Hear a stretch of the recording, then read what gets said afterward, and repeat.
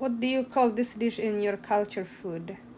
You'll need ground beef, add carrot, green chili, onion, add vegetable seasoning and cumin, and then add red chili.